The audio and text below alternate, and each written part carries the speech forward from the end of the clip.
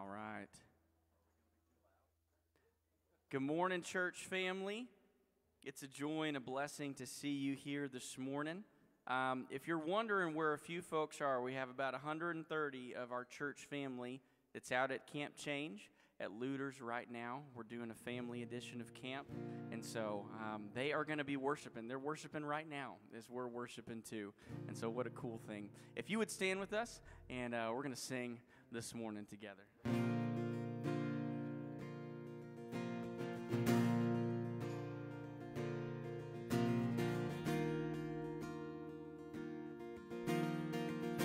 Sing, You make it easy to love you.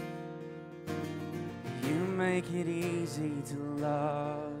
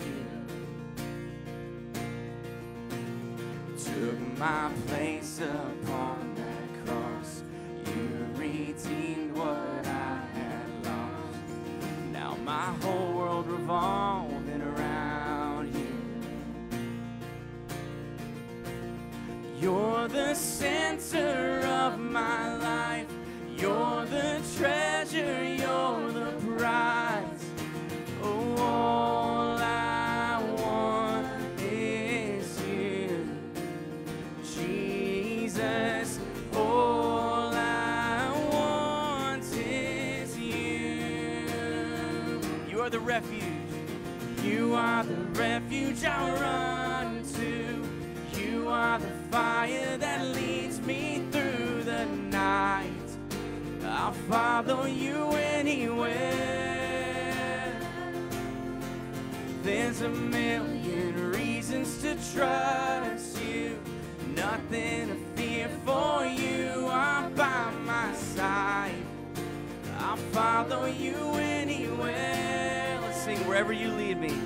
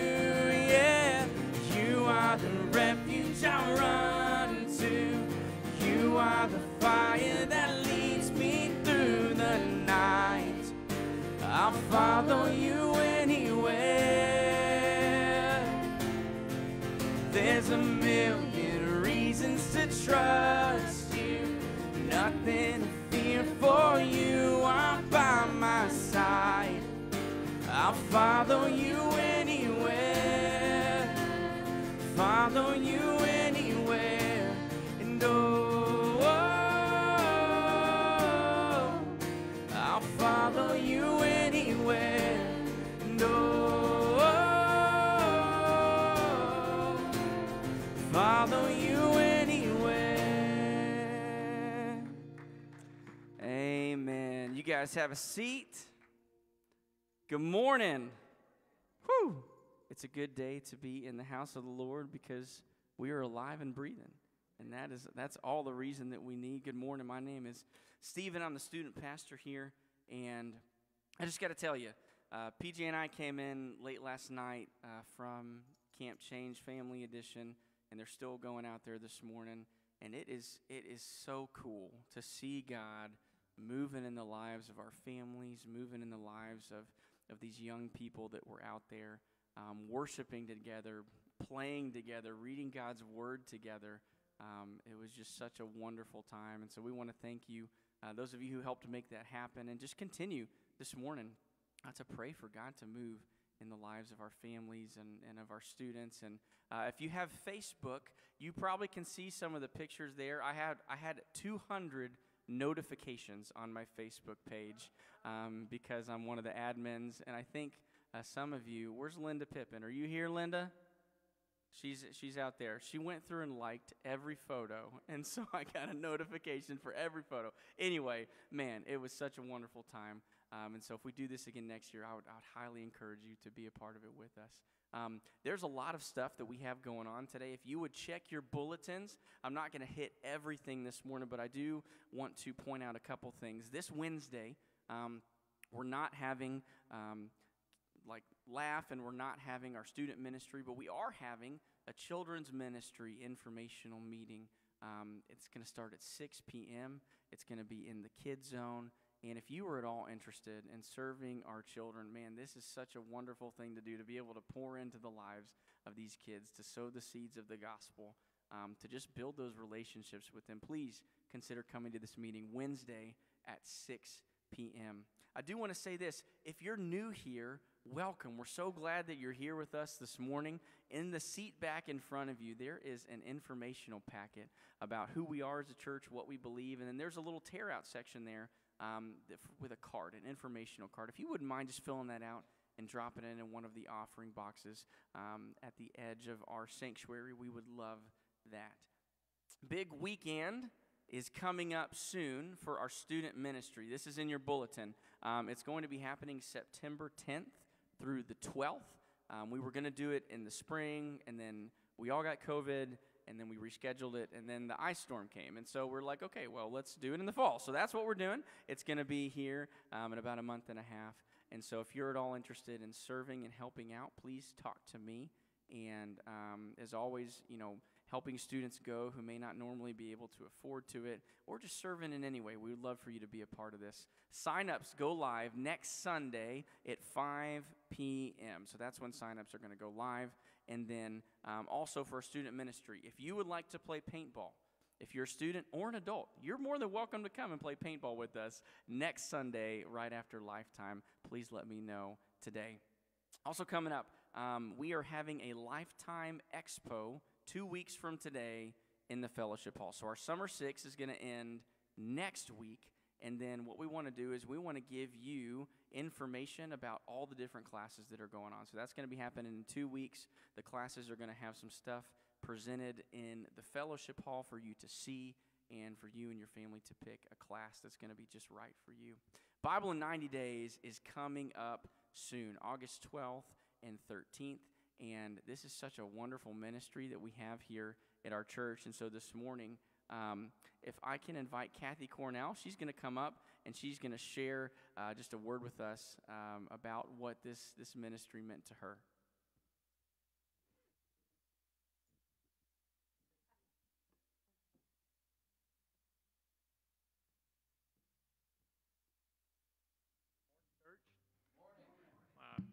Judy asked my wife to give a short testimony about the Bible 90 days, and she asked me to pray for her. So bow your heads, please.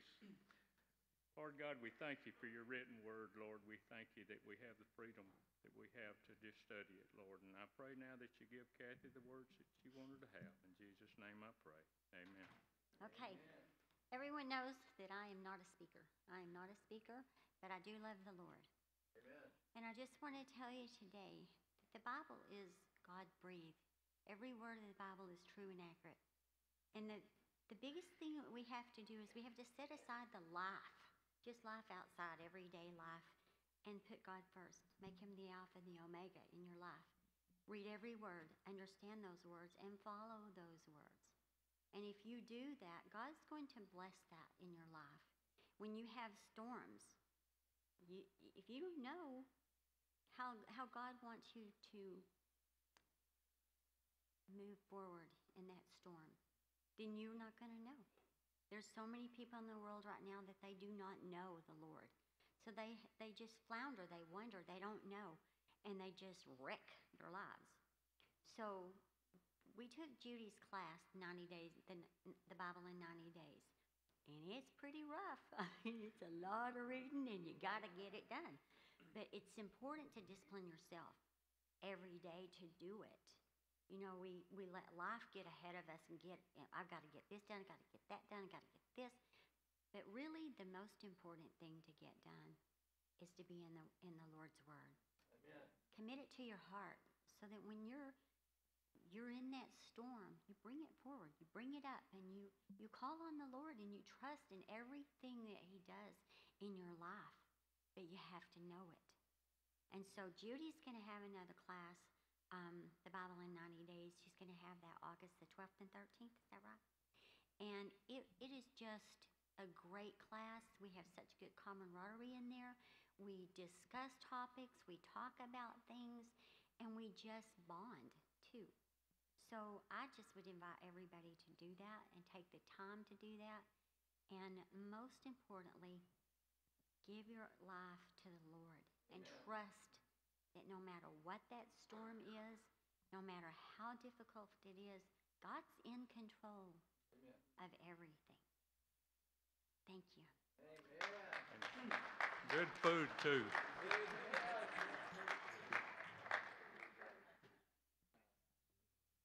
Thank you, Kathy. The final thing I want to uh, remind us of is the, the Open Door Scholarship Fund. Uh, again, we had a generous donor who is going to be matching uh, $12,500 towards that so we can help families and kids go to Open Door. We love Open Door and we love what God is doing there. Enrollment is up. We're so excited about this next school year. And by you giving to that fund, you're, you're helping families go that may normally not be able to go. And so please uh, consider that um, this week. That is all that I have announcement wise for you this morning. So I want to invite Jimmy and Kay Gwen up to uh, continue our service with scripture and prayer.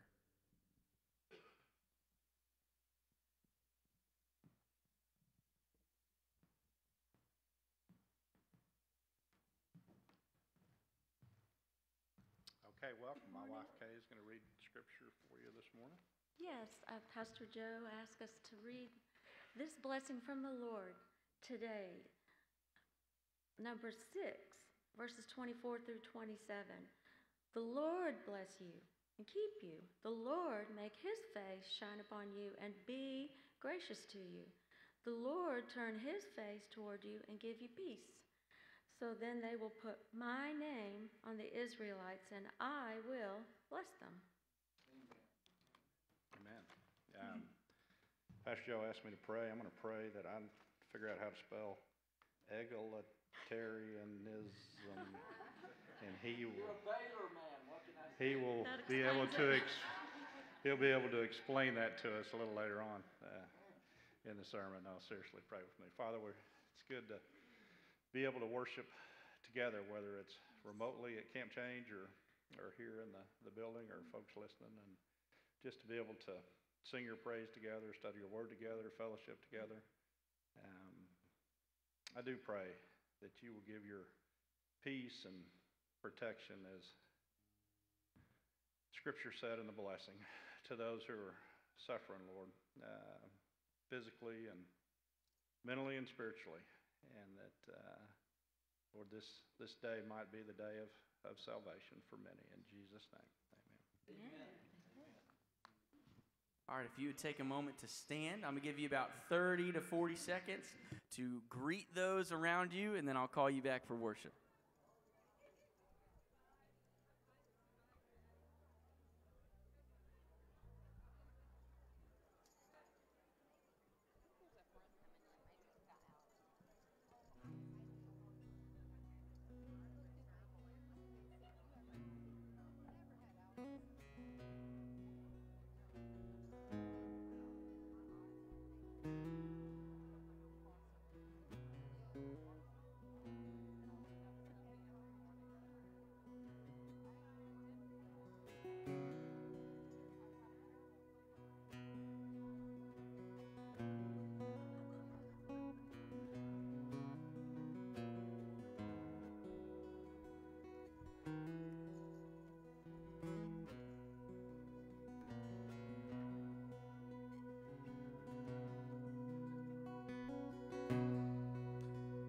You guys make your way back to your seats, um, this morning our worship set is going to be what I like to call uh, a throwback set, and that's something that uh, the younger people say when they they want to do something that happened um, a long time ago. And so for these songs, these songs are like coming home to me.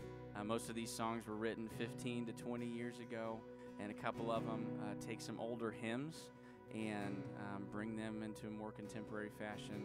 And so, my heart for you this morning is that as we sing these songs, maybe uh, you would think back to the time in your life um, when these songs were written, or maybe when you first heard them, um, and you would remember God's faithfulness then, and we would celebrate His faithfulness now, and we would look forward uh, to His continued faithfulness for every breath that we have. Let's sing this together. I hear the Savior say, Thy strength indeed is small. Child of weakness, watch and pray. Find in me thine all in all. Jesus paid it all, and all to him I owe. Sin a crimson stain, he washed it white as snow.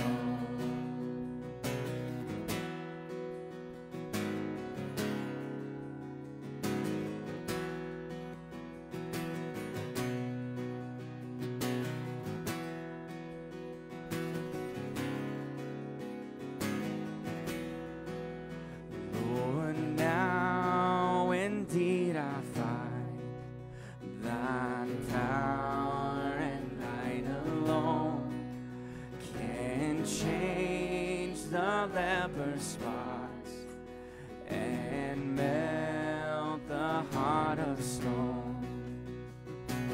Jesus paid it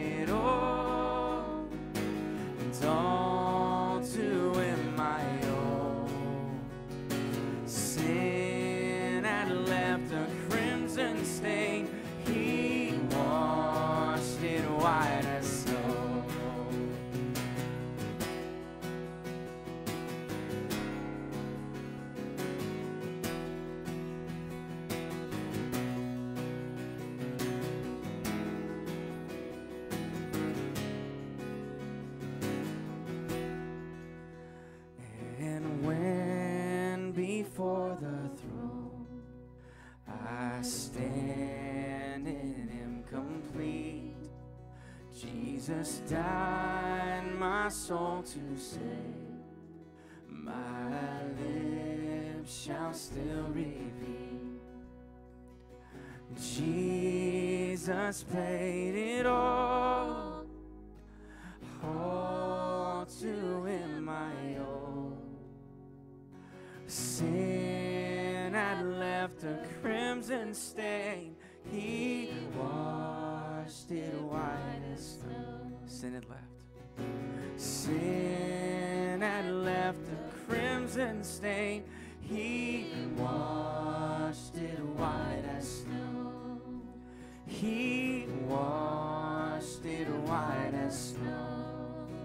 He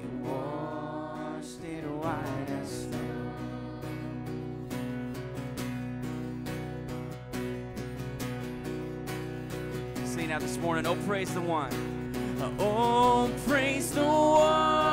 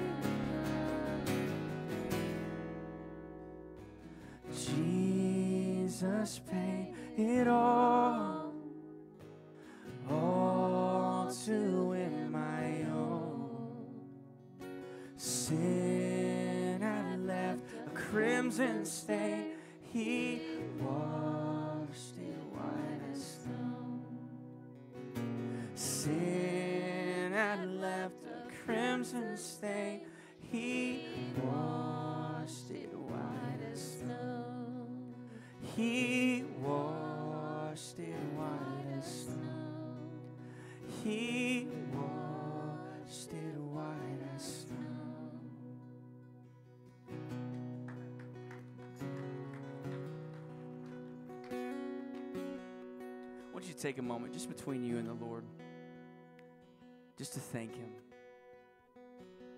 To thank Him for taking your place on that cross. To thank Him for for bearing the burden, the punishment for all of us, that we might have eternal life.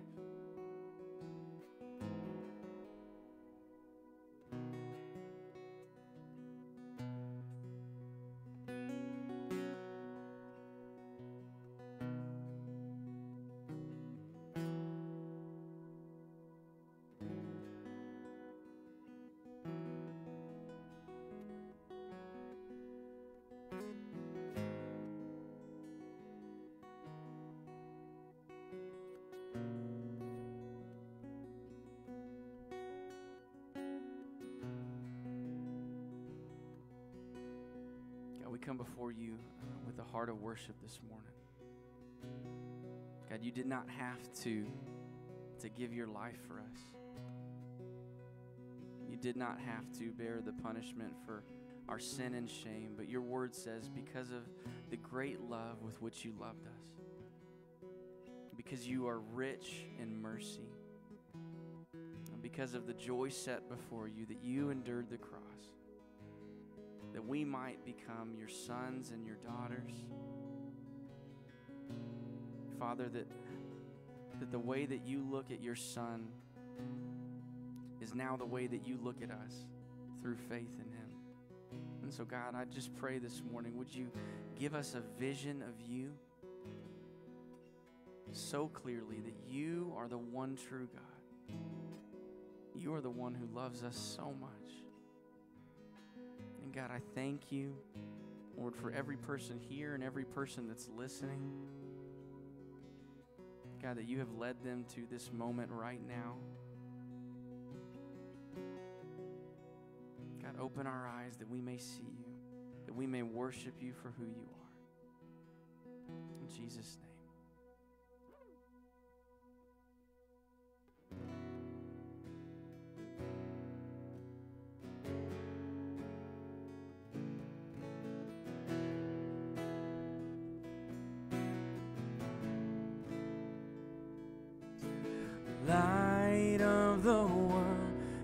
Step down into darkness. Open my eyes, let me see beauty that made this heart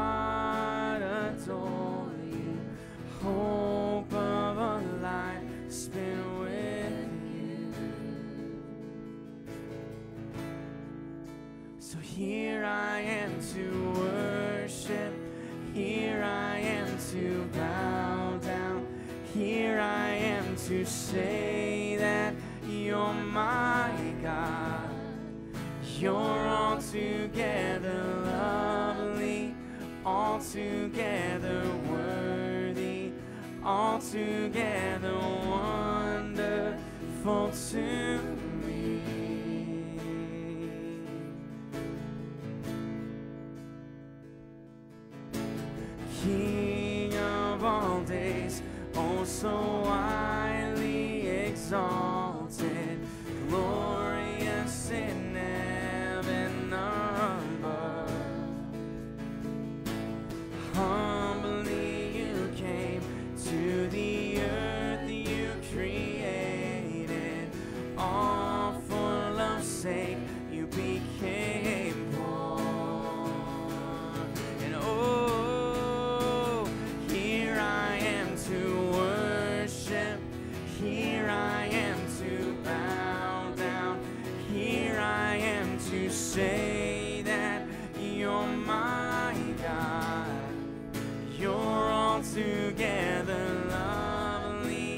You're altogether worthy. You're altogether wonderful to me. And I'll never know how much it costs to see my sin upon that cross, and I'll never much it cost to see my sin upon that cross,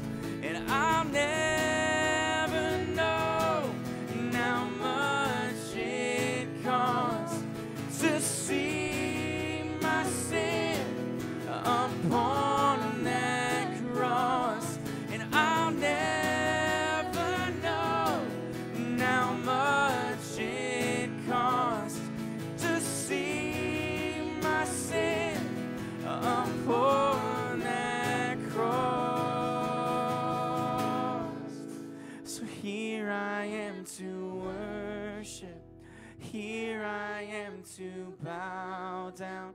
Here I am to say that you're my God. You're altogether lovely. You're altogether worthy. You're altogether wonderful to me. And here I am to worship. Here I am to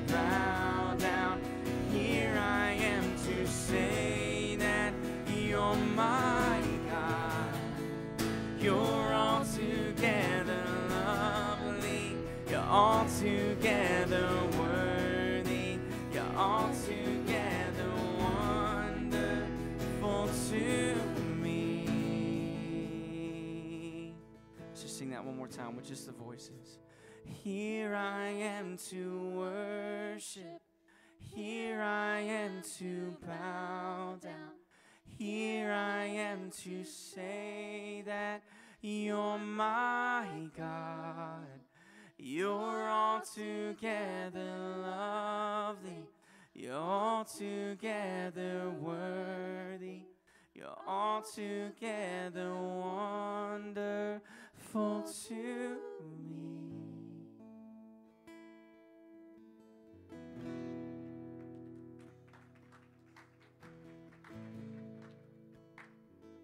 We sing this next song, I want to open up the altar.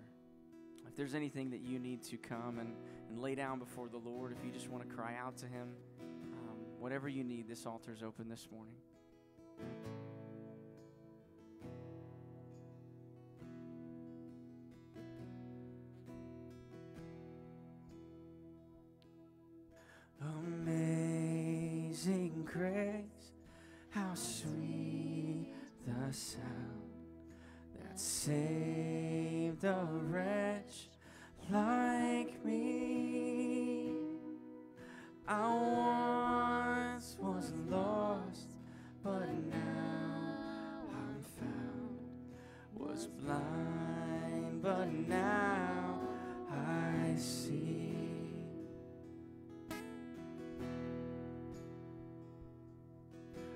Twas grace that taught my heart to fear, and grace my fears relieved.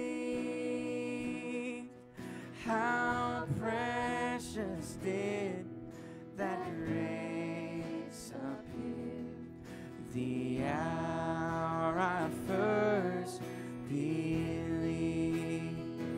My chains are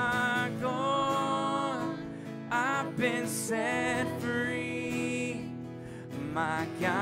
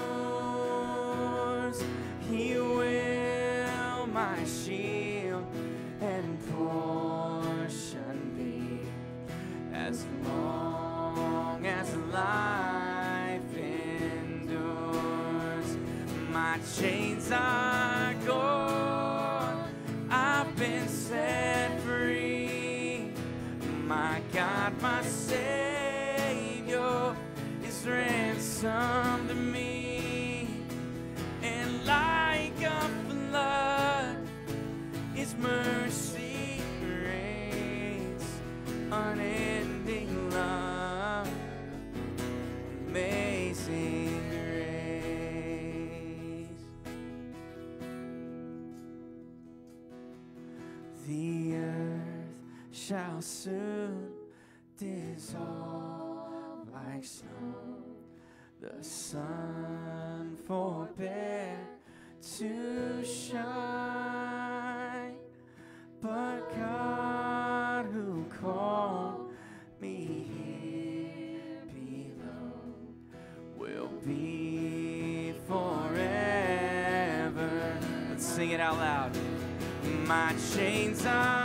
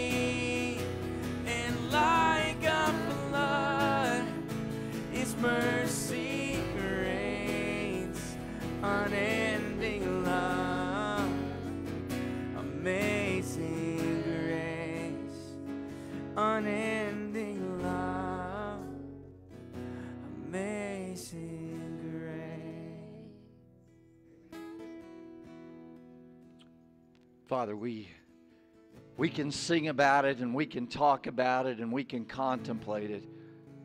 But Lord, there's no way we can understand your amazing grace. What would what would give you the desire to reach down into the pit, the miry clay, and lift us out?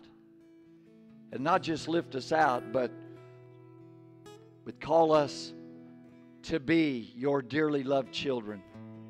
Lord, to make us heaven ready. God, for you to say, I want to spend an eternity with you. Holy, perfect God, loving us, absolutely loving us fully, and loving us eternally. So thank you, God, for this amazing grace. And, and even if we don't understand it, Lord, help us to, to walk in it and live in it and extend it to others. We bless you, Lord. We pray for those who are, who are at family camp right now, God.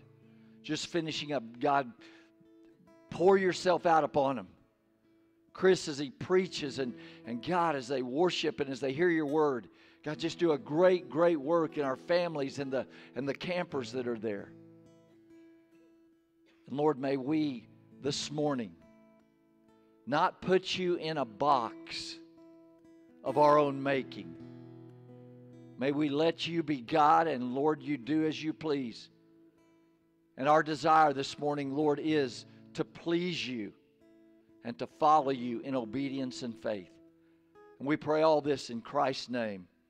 Amen. Amen. Thank you. Be seated.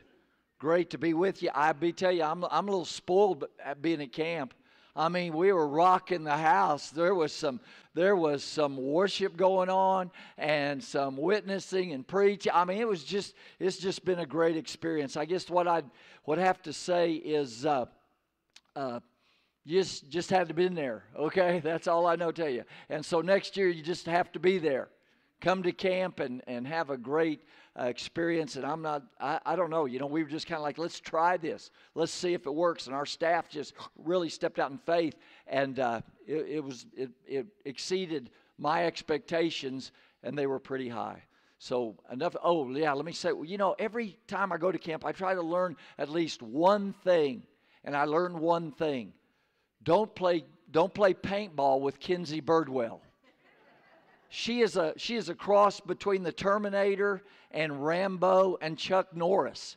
She is fearless, and I'm telling you, uh, I didn't even play. I just this is the stories I heard from the from the paintballers. But uh, anyway, and also one more thing, Shawnee, Shawnee Stoker, our missionary in Jordan. Would you stand up? Let's welcome Shawnee back.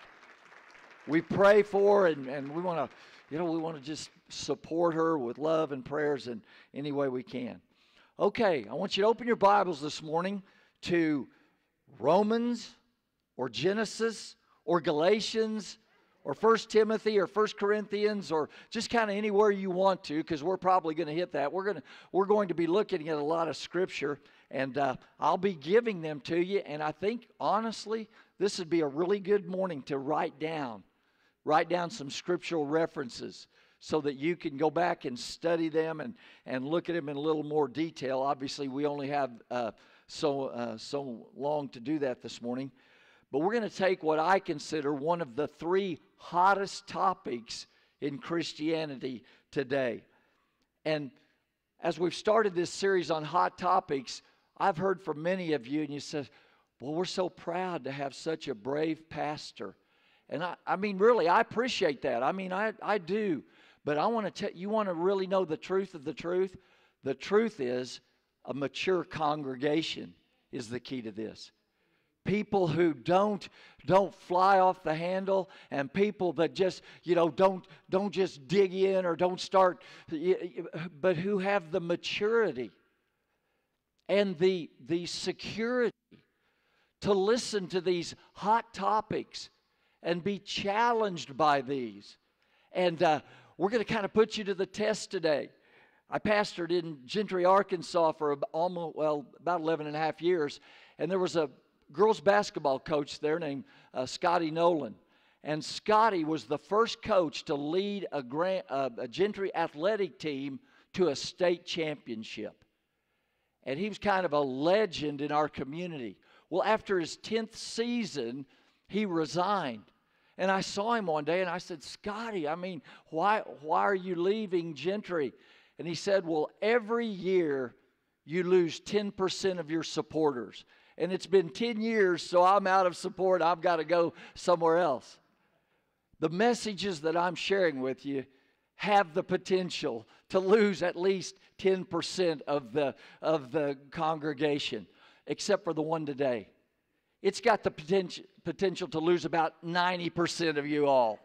I mean, this, this is a hot topic, and, and you know, when I'm really thoughtful, Patty will look at me and she'll go, "What are you so angry about? What are you so upset about?" I go, "Well, I'm really not. I just I'm just really thinking about this." So today, if I see a bunch of angry looks, if I see everybody all twisted up, I say, "They're just being thoughtful. Your thought-provoking message." So. Uh, all that to say, you, can you see I'm kind of trying to set you up and get you ready for a message? One of the things I did when I lived in Arkansas is I I liked football, and so I began officiating. I got with an officiating crew, and we traveled over. I, I wasn't the referee uh, wearing the white hat. I was I was the sideline judge or the uh, field judge, and I had to listen to the coaches, you know, the, the whole time. But here's one thing I learned. I learned that that people see what they want to see.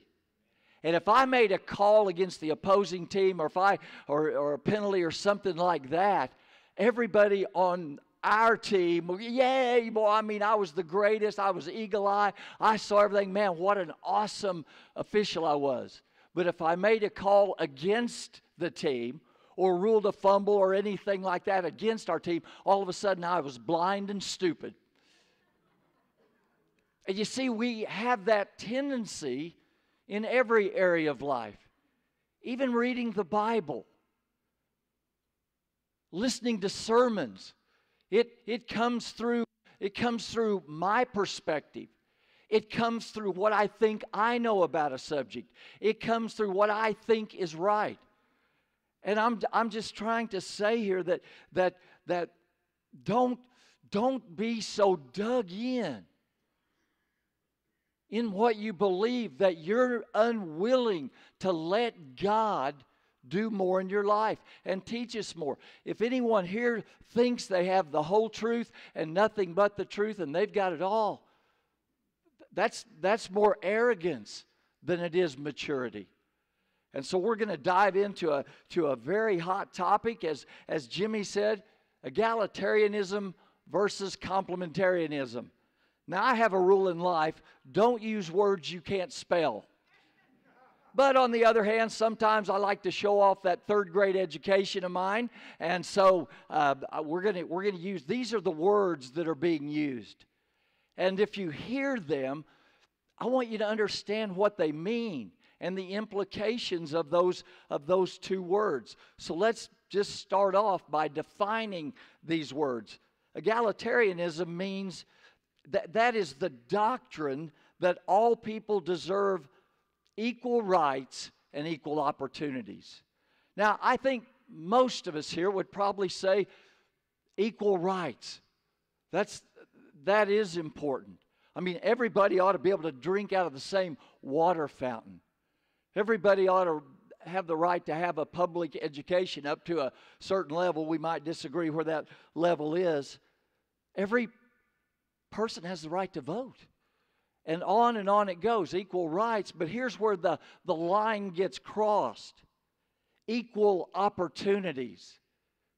When a egalitarianism uh, advocate says something like this everybody ought to be forced to do everything, or everybody ought to be uh, expected to do the same thing.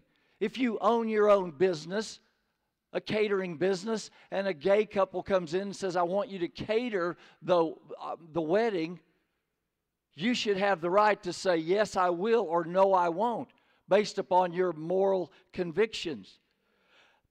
I was involved in a situation that was reverse discrimination. Now, I'm not bitter about it. They finally offered me the job, and I said, No, I'm not going to do it. I'm, God's called me to preach. But at that time, it was like we had an African American man in this position, and if we don't hire that same race of a, a back in that job, we're going to be accused, accused of being racist we're going to get sued by people and so so we're kind of in a in a corner we could talk a lot more about this. Let's move on. Complementarianism. That is the doctrine that men and women have different roles and responsibilities in marriage, in family, and in the church. In, in, in lay terms, it just says we have different roles. We have different responsibilities. It would be like on a, a ship you have a captain, and you have a first mate, and I mean, all the different offices and jobs on a ship. And it gives order, chain of command, organization, those kind of things. An egalitarianist would say something like this everybody should have the right to be the captain, everybody should have the right to be the first mate. There's just, if anybody wants it, whoever it is, qualified or unqualified, they should be able to hold that position. And most of us, uh, you know, we, we see the, uh, the flaw in that kind of logic. Now, we were rocking along pretty good. Everything, you know, was discussion here, discussion there. And then a couple things happened.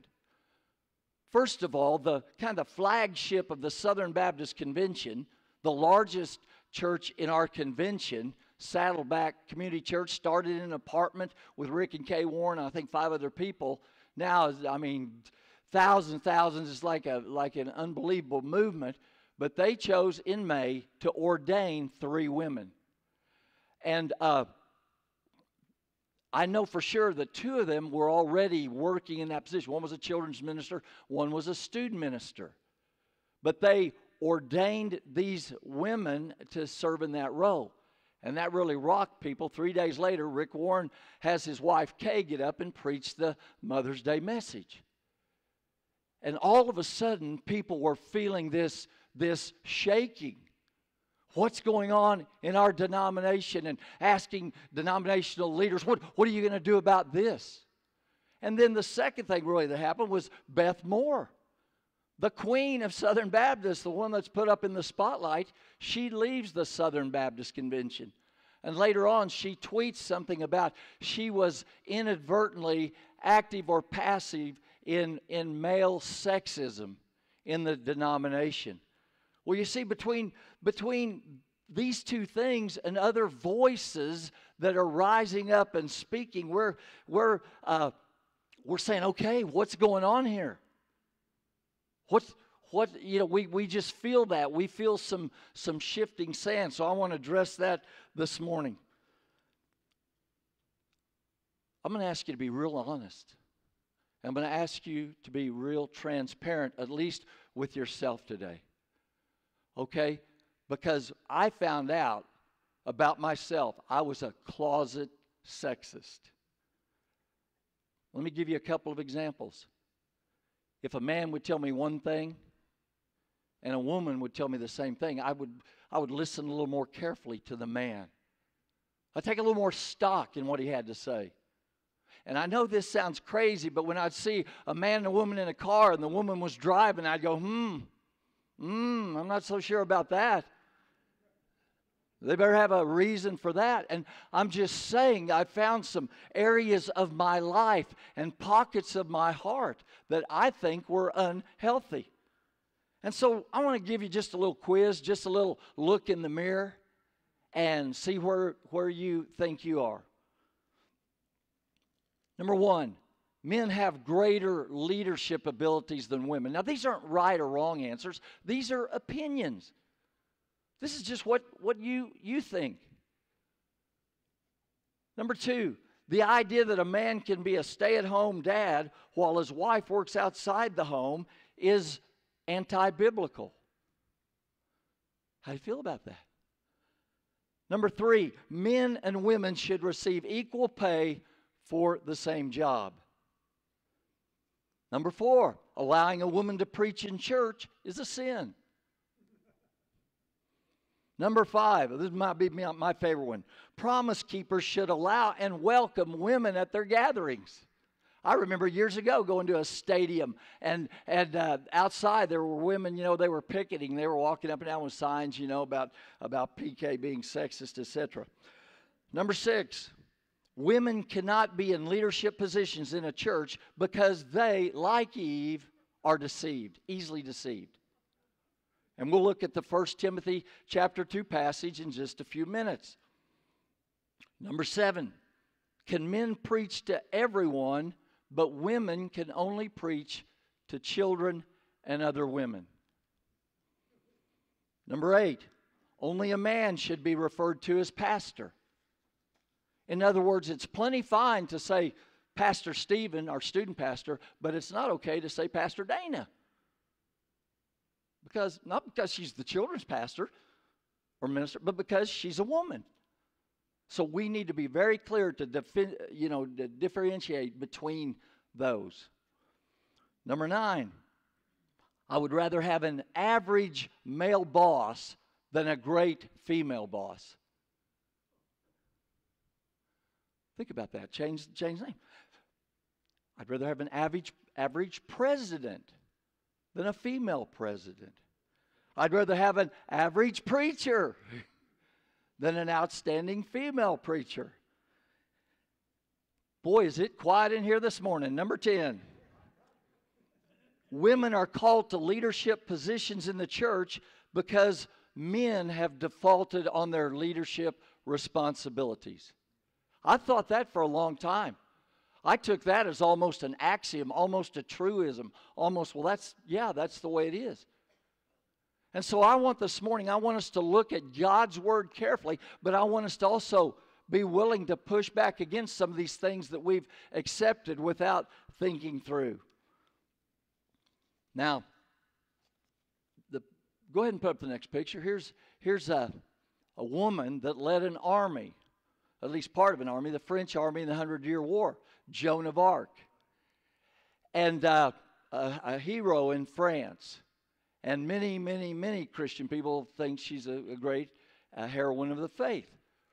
But one, when the English captured her and tied her to a stake and set, set fire all around her and killed her, her last three words were Jesus, Jesus, Jesus. But do you know one of the charges they had against her? She wore a, men, a man's uniform when she went to battle. That wasn't the only thing that the English were saying about her, but that was, that was one of their charges. Now, what I want to do, because most of us here, honestly, have not heard this side of the argument. We've, we've heard a lot about complementarianism and, and, and the kind of the party line, but we haven't heard much at all about this other side. And so I want to share the arguments that people who have the egalitarian uh, idea or, or theology, uh, this is what they say. Number one, both men and women reflect the image of God. Genesis 1:27. So God created mankind in his own image, in the image of God he created them, male and female, he created them. Both male and female express the image of God. And it's not like men express 90% and women 10% of the image of God. We both do that. Number two, male dominance and male dominance and prominence is a result of sin not an expression of grace. This Genesis 3 after the fall. It says, The woman said, uh, To the woman, he said, I will make your pains of childbearing very severe. With painful labor, you will give birth to children. Is there an amen, ladies? You deserve, uh, your desire will be for your husband, and he will rule over you. And what an egalitarian would say is this yes, this male dominance, this male prominence, this male rulership comes be- because of sin. It's a, just like the wages of sin is death. But along comes Jesus, along comes grace, and, and that's, that's changed. That's switched. Number three, there are multiple examples of women in leadership role in the Old and New Testament. I'm going to give you some of these because you say, I don't know, I maybe a couple, but, but there's more than, than you think. So let's look in the Old Testament. First of all, uh, Moses' sister Miriam was a, was a prophet. Deborah was a prophet and a judge in Israel.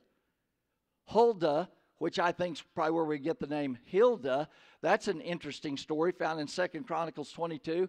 Uh, and uh, oh, no, excuse me, Second Kings 22 and Second Chronicles 34. Uh, Josiah, they you know they find the the uh, scroll in the as they're cleaning up the temple, and they bring it to the high priest, and the priest goes, "We got what? What's God going to do with this?" And they take it to Hil- Huldah, who is the wife of the king's tailor, and they ask her, "What are we supposed to do with this?" Uh, Zelophehad had five daughters. We're going to read that story in just a few minutes, but th- these, again, are prominent examples, not the only in the Old Testament. You get to the New Testament, we see Anna, the prophet in the temple. She wasn't, she wasn't just called, oh, the old lady that lives down at the temple. She was called a prophet. Phoebe, there's a very good case for uh, the fact that she might have been a deacon in Cenchrea uh, Philip's four daughters. Philip the evangelist, the deacon who became an evangelist, had four unmarried daughters, and they are called uh, prophets. Priscilla, along with her husband Aquila, discipled Apollos, one of the great uh, apologetics uh, uh, experts of the New Testament. And then there's Euodia, who worked with Paul, and Paul refers to her uh, working in the church. And finally, there's uh, Junia, referred to in Romans chapter 16 as an apostle. So we need to, again, not just think we know everything that we know about everything we need to know, but be willing to look at this. Argument number four spiritual gifts are not gender specific. In Romans chapter 12, there are seven main spiritual gifts listed, and it doesn't say these are given to men and these are given to women. All seven of these spiritual gifts are for the body of Christ, including teaching and leading. And then argument number five men and wi- women are equal before God. In Galatians chapter 3, this, uh, this is probably the primary main argument of the egalitarians. There's neither Jew nor Greek, neither slave nor free, nor is there male or female, for you are all one in Christ Jesus. If you belong to Christ, then you're Abraham's seed and heirs according to the promise. In other words, this is saying God doesn't lean toward the free. God doesn't lean toward the Jew. God doesn't lean toward men. We're all equal before Him. Different roles, but equal before God. Number six, Bible passages must be seen in, a, in the cultural and contextual light. Now, here's a card we play ever so often. Here's something we say, yeah, we agree, but then, then a lot of times we say, we don't agree with that.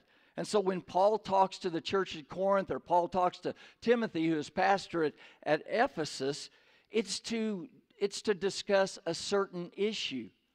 There's a problem going on, and Paul addresses this issue. It doesn't mean it's a timeless truth. What it means is this is the way you handle that particular problem. And you say, well, I don't believe in, in context or I don't believe in culture. What do you do with the verse, greet one another with a holy kiss? You're going to you're going to do that? I'll tell you what they do it in Moldova. Moldova, and I was very uncomfortable. I walked around like this. oh, boy, if you don't think I didn't. I mean, these big, burly Eastern European men, I mean, you know, they're just, just tough and rough. The women, the babushkas, are tougher than our men. And here these big, tough men greet one another with a holy kiss. Number seven, a minority of men are leading a majority of women. The egalitarians would say, you know, almost two thirds of the church is, is female, but about 10% of the leadership of church is female. And that seems very unequal. Now, we could sit here this morning and we could probably, until midnight and beyond, we could sit here and start you know, back and forthing on this thing like a tennis match. But as we've done before, and as we're going to do today, we're going to look at some scripture. We're going to, we can't, I mean, it's up to you to read the Bible in 90 days. I can't, you know, I can't do that for you. But what I can do this morning is look at, at passages of scripture that talk about these hot topics. And so the first one is Numbers chapter 27, verses 1 through 7. This is Zahel, excuse me, Zelophehad. I've pronounced it wrong my whole life, and I'm trying to get it right. Okay, Zelophehad. It says the daughters of Zelophehad, son of Hepher, the, da- the son of Gilead, the son of Machir, the son of Manasseh, one of the twelve tribes of Israel, uh, belonged to the clan of Manasseh, son of Joseph. The names of the daughters were Mahlah, Noah, go figure, Hoglah, Milcah, and Tirzah. They came forward and stood before Moses, Eleazar the priest, and the leaders of the whole assembly at the entrance to the tent of meeting, and said, Our father died in the wilderness. He was not among Korah's followers who banded together against the Lord, but he died for his own sins and left no sons. Why should our father's name disappear from his clan because he has no son? Give us property rights among our father's relatives.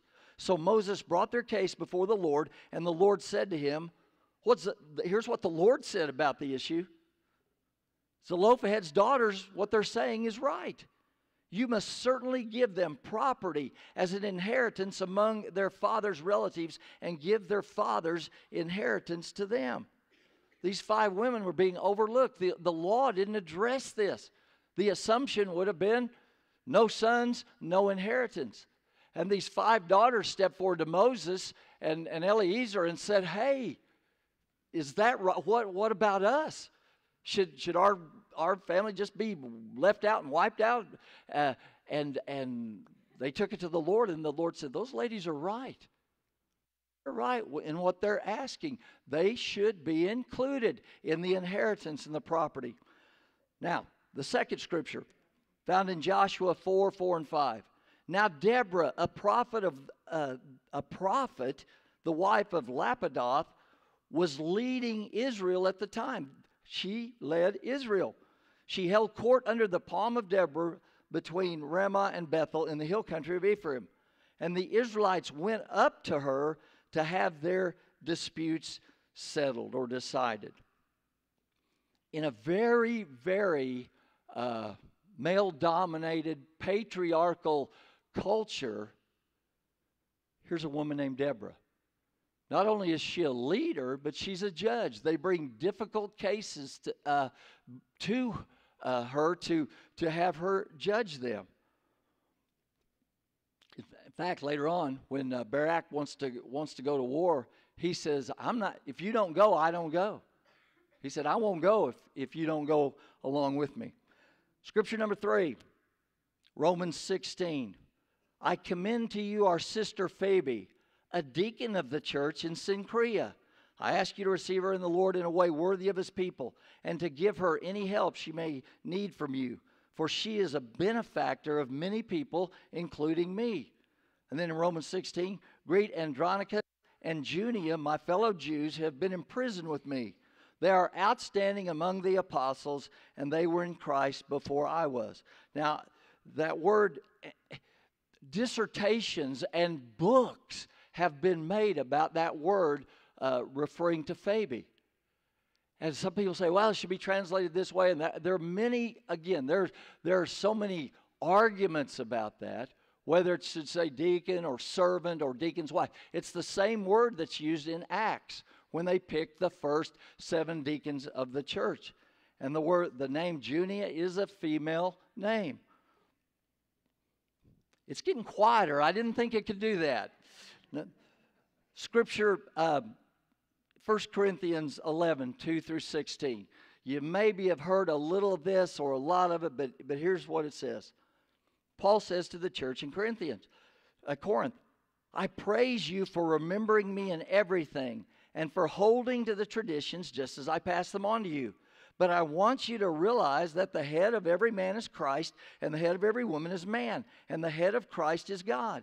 Every man who prays or prophesies with his head covered dishonors his head. But every woman who prays or prophesies with her head uncovered dishonors her head. It is the same as having her head shaved. For if a woman does not cover her head, she might as well have her hair cut off. But if but if it is a disgrace for a woman to have her hair cut off or her head shaved, then she should cover her head. A man ought not to cover his head, since he is the image and glory of God, but the woman is the glory of man. If man did not come from woman, but woman from man, neither was man created for woman, but woman for man. It is for this reason that a woman ought it is for this reason that a woman ought to have authority over her own head because of angels. yeah. Nevertheless, in the Lord, woman is not independent of man, nor is man independent of woman. For as woman came from man, so man is born of woman. But everything comes from God. Judge for yourself. Is it proper for a woman to pray to God with her head uncovered? Does not the very nature of things teach you that if a man has long hair, it's disgraceful to him? But if a woman has long hair, it's for her glory.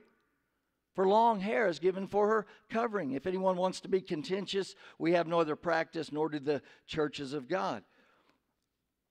Honestly, what I found, uh, what I think, there's, there's just a lot of inconsistencies that we have. We say we believe this, but we don't really practice that, and we do this and the other. I'm just saying there's some things in here that need to be looked at. Scripture 5 1 Corinthians 14, three more chapters, uh, three chapters later, Paul says, Women should remain silent in the churches. They are not allowed to speak. must be, but must be in submission as the law says. If they want to inquire about something, they should ask their own husbands at home, for it is disgraceful for a woman to speak in church. We've already had that this morning. Are we disgracing God? Are we in sin because of what we've done here this morning? Those, that's a question that, that, that we have to look at very carefully. Paul says women are not to speak in church, but he said earlier if they pray or if they prophesy. So, what really is going on here? Now, 1 Timothy chapter 2, the one we talked about a little bit ago. Paul says, Therefore, I want men everywhere to pray, lifting up holy hands. Are we, how many of us do that? Without anger or disputing. I also want women to dress modestly with decency and propriety. Not men, just women. Adorning themselves, not with elaborate hairstyles or gold or pearls or expensive clothes, but with good deeds, appropriate for women who profess to worship God. A woman should learn in quietness and full submission.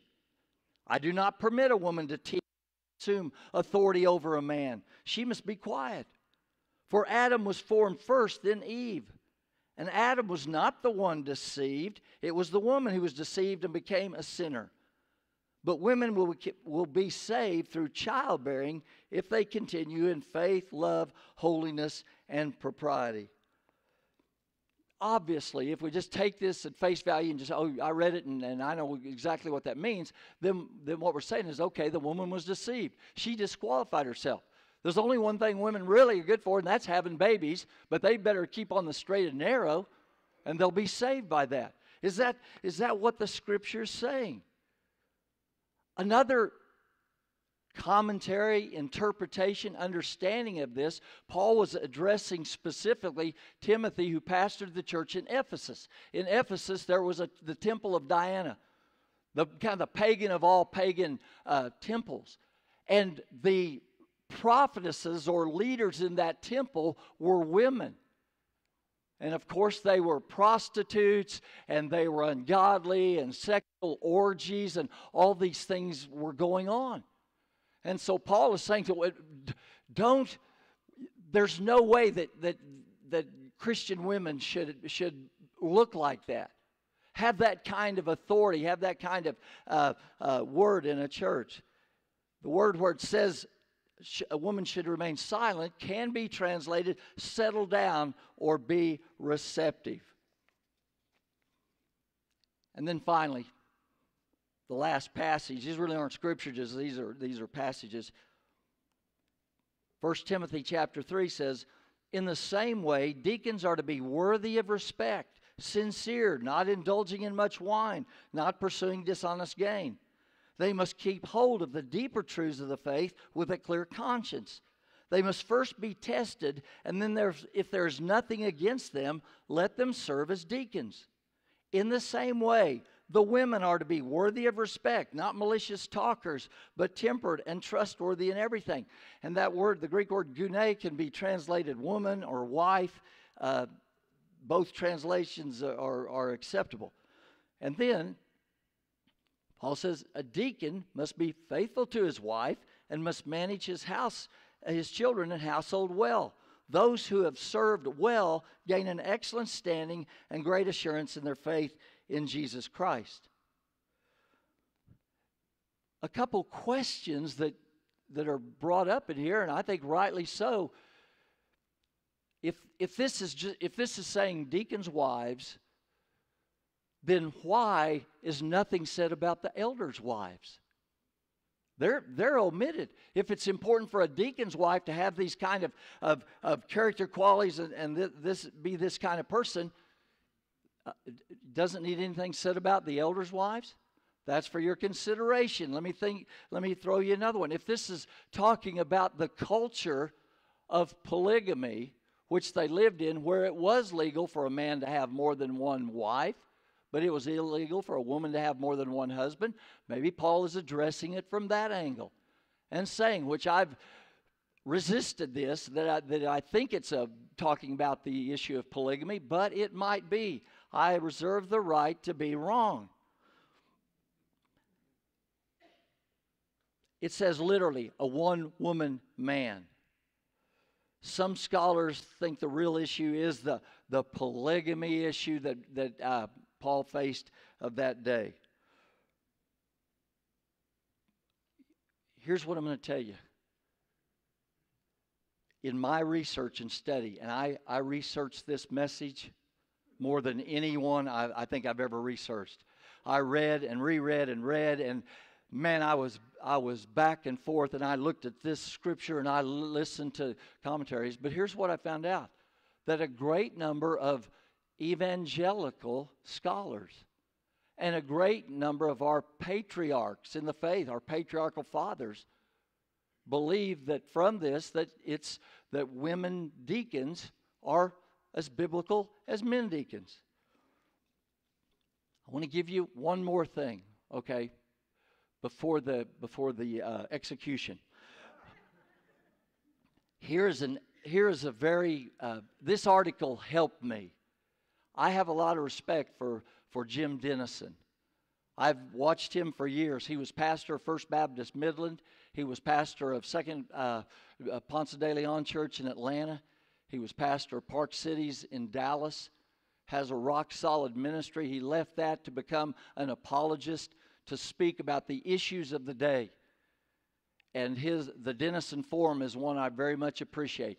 He's made me think. He's made, he's chat. You know, he's he's he in my mind he's very solid and he's very biblical. He wrote an article on this. You can read it. It takes about an hour. He had 67 references in his article, things that he had researched and he wrote as references in uh, in the blog. I would encourage you to go to that. Go to, you know, just Google in something like Women in Leadership in the Church, uh, DenisonForum.org. As I said from the very first message, I believe that you have the right to know where your pastor stands on these issues.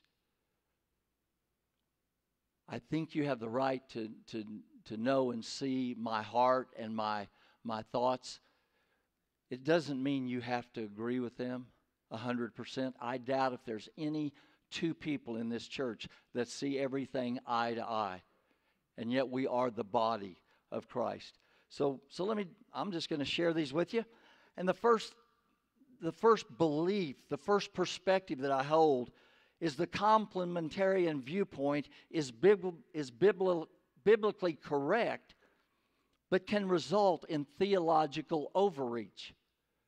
And here's what I've seen in many situations we take a truth and we just extrapolate it. We take it and we push it and push it and push it to a limit that's, that's not biblical or healthy. Healthy. I don't like labels. I, if somebody wants to call me something, I hope it's not an egalitarian or a, a complementarian, but a Christian, a follower of Jesus Christ. But I, and, and I agree so much with this complementarian that there is order and there is structure and there's a chain of command in the church, in, uh, in your home, in, in many areas of life. But again, we can take a Bible truth and we can twist it or we can overextend it. We can take it too far. What Mark Driscoll did up in Seattle was he took a biblical truth and he took it way, way, way too far. And if you know me, you know I don't name names. But I want you to I want you to check this one out.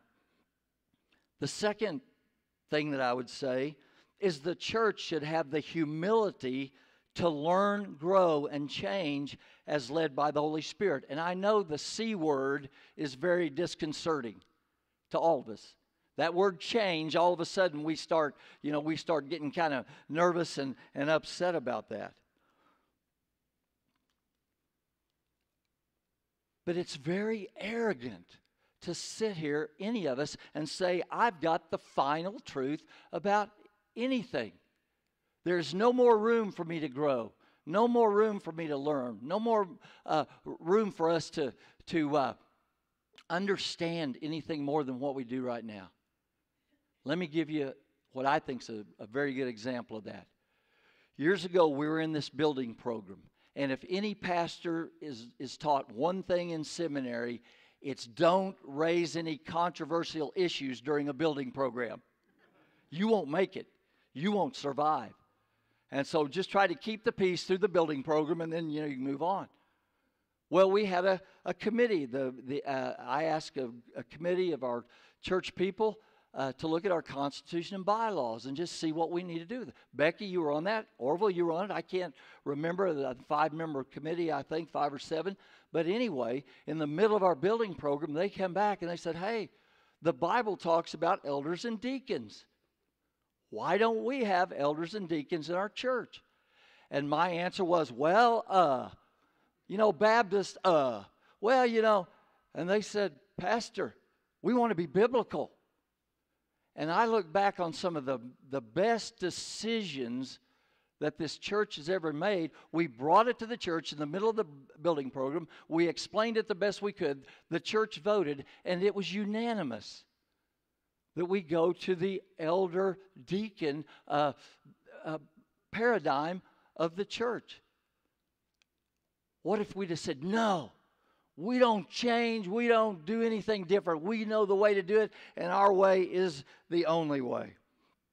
Number three, the doctrine of headship is no more important than the doctrine of partnership.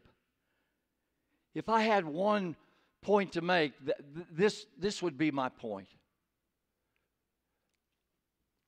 I think many of us, myself, have this idea you know, here's the pioneer family and the headship. The man leads the way, and the woman's a few steps behind, and the kids trail along behind. And, and that's, and there is the doctrine of headship.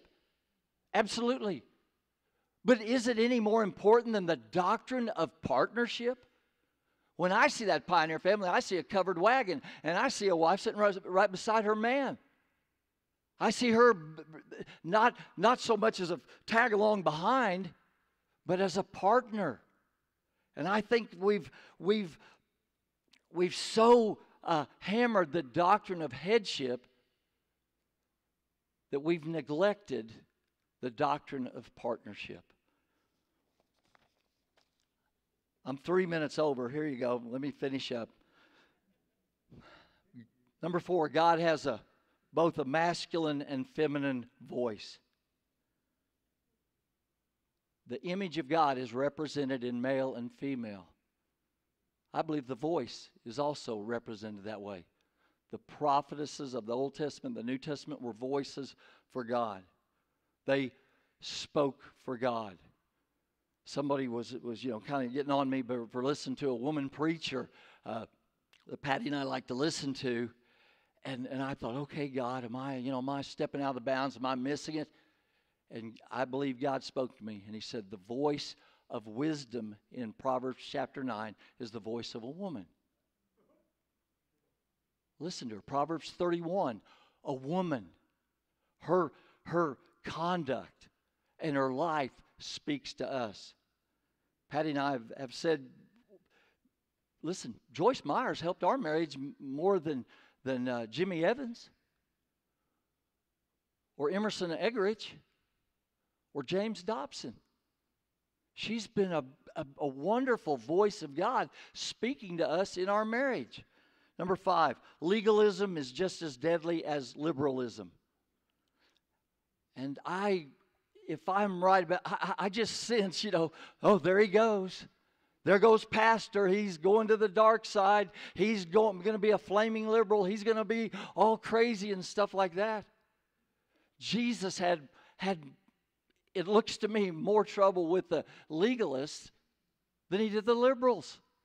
I mean, they, he was always constantly butting heads.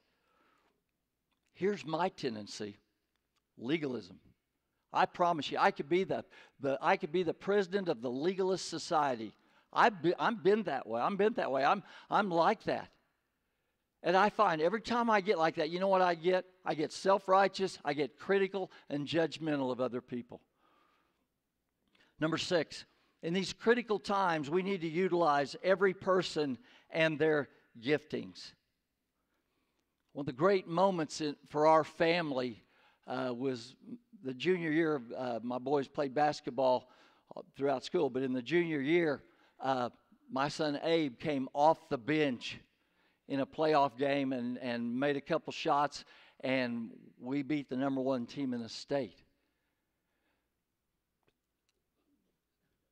We don't abuse women at Oak Street. I know that. My question is are we using women as God intended? Are they having the complete role that God gave them in our church? How many people have been blessed by Judy leading the Bible in 90 days?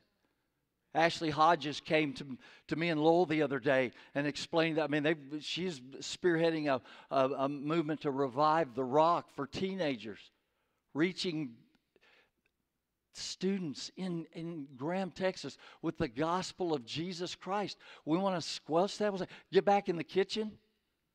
Hey, we don't want to hear that. If it's not an idea from a man, then it's really not a good idea. Very quickly, number seven, we must not be afraid to re examine our purpose, our priorities, or our perspectives on controversial issues.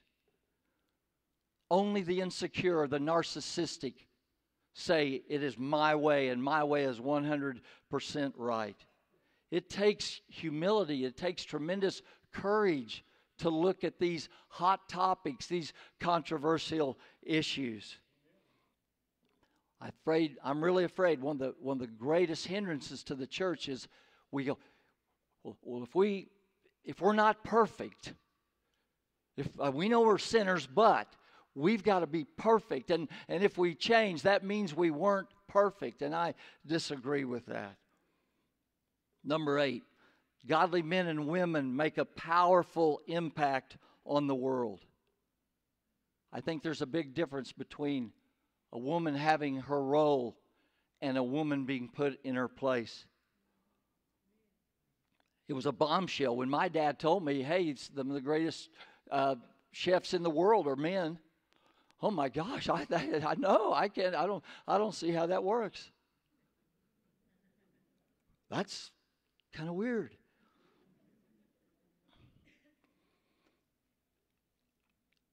We're not in competition the if gathering, against the promise keepers.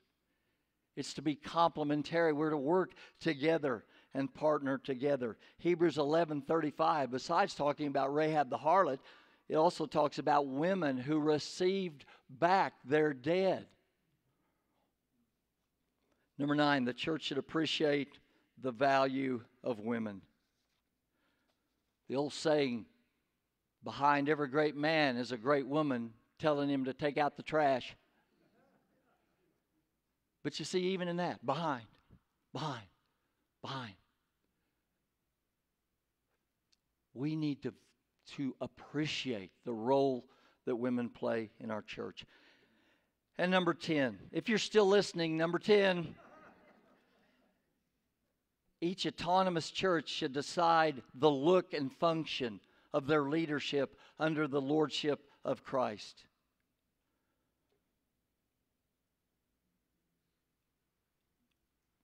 We're not God. We are those who listen to God and follow His leadership. In, uh, I just lost my, my place. In, uh, in Romans chapter 14, that's where it is.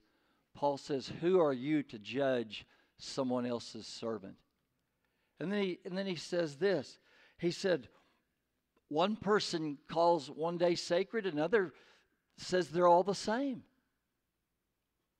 It's okay. And one of the beauty, uh, beautiful things and the strengths of Southern Baptist life and Baptist in general is the autonomy of the local church. What does that mean? To me, it means if Saddleback wants to ordain women who are in ministry, they can do that. If Joyce Myers preaches to 15,000 men and women, that's okay if Robert Jeffress at First Baptist Church Dallas says he is not against women being ordained as deacons. Who am I to throw rocks at them or judge them or criticize them for what they believe is God's will? And so I want to close with just a few questions. Number one, am I in favor of ordaining women uh, deacons and elders? No.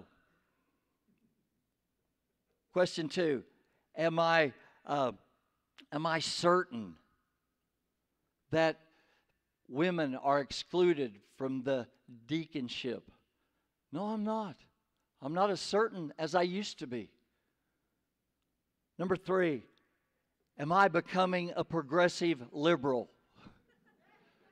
I pray to God that I am becoming a stronger follower of Jesus Christ. That's what I pray for myself and for us. And I'll, I pray that I have enough courage and faith to look at controversial issues. And here's the final hot topic question What am I asking this church to do? And here's my answer go to Acts 17 11. They were more noble than those in Thessalonica. For when they heard the preaching of Paul, they searched the, they searched the scripture daily to see if what he was saying was true. Dig into the Word of God. Study, pray like you've never done before. Ask God to reveal truth to us, to show us what His perfect will is for our church. I don't want us to be egalitarian. I barely knew the word complementary until it started being thrown around. What I'm asking you to do is be biblical and be godly. Let's pray.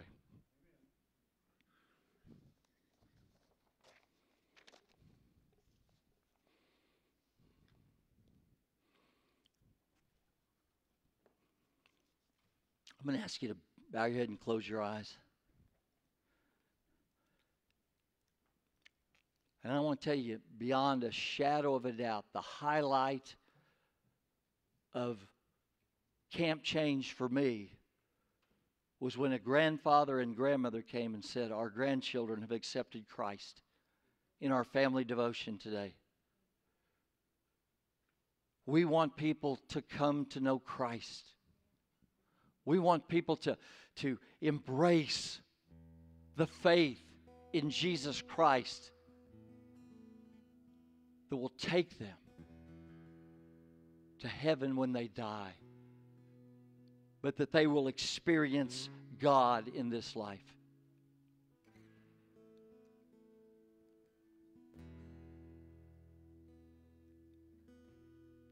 And we're really just talking about the Lordship of Jesus Christ. Is Jesus the Lord of your life? Are you committed to follow Him? If you're here this morning and you've never trusted Christ, I would encourage you right now just say, Lord Jesus, if this is your heart, say, Lord Jesus, save me, change me, make me yours forever. Maybe there's somebody that you, you, I mean, is so on your heart.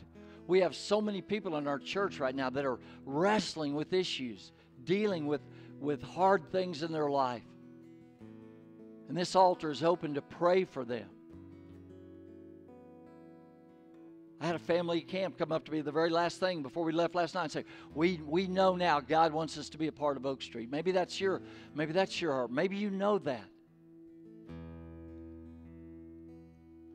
I'm going to pray and then I'll ask us to stand and uh, the altar's open.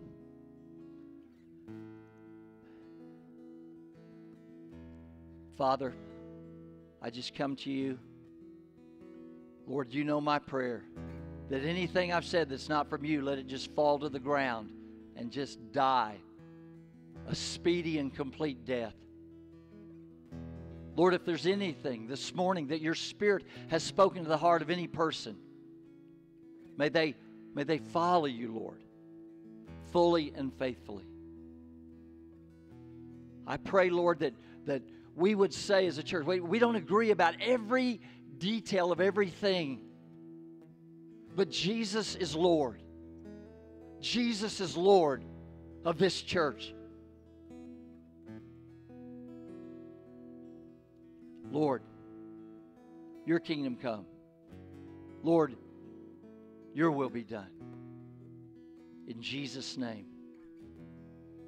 I'm going to ask you to stand with me and uh, our worship band, Stephen, I've got to be dragging, but he's, uh, he's up here this morning just leading worship. If you need to come, the altar's open.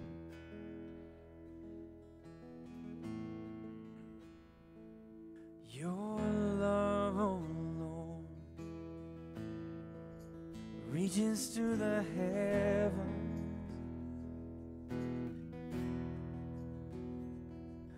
Your faithfulness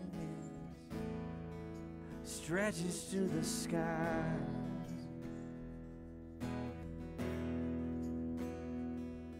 Your righteousness is like the mighty mountain. Your justice flows like the ocean's tide. And I will lift my voice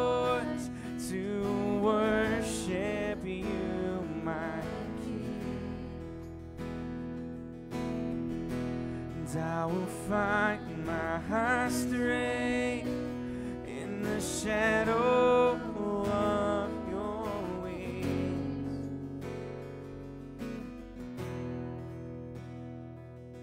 Your love, oh Lord, reaches to the heavens.